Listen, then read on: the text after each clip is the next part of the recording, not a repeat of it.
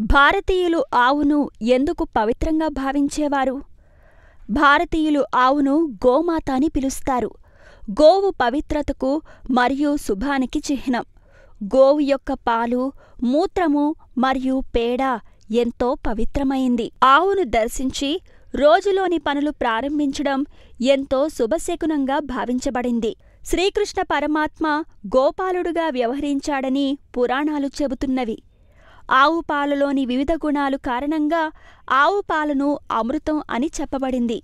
ఆవు పాలు ఔషధాలలో ఘటకాంశంగా నిలిచింది. ప్రతిరోజు మన ఆహారంలో పాల ఉత్పత్తులైన పెరుగు వెన్న నెయ్యి మొదలైనవి వాడబడతాయి. ఇతర ప్రాణుల మలాన్ని అశుద్ధంగా చెప్పబడిన ఆవు పేడ మాత్రం ఎంతో శుభకరమైందిగా చెప్పబడింది.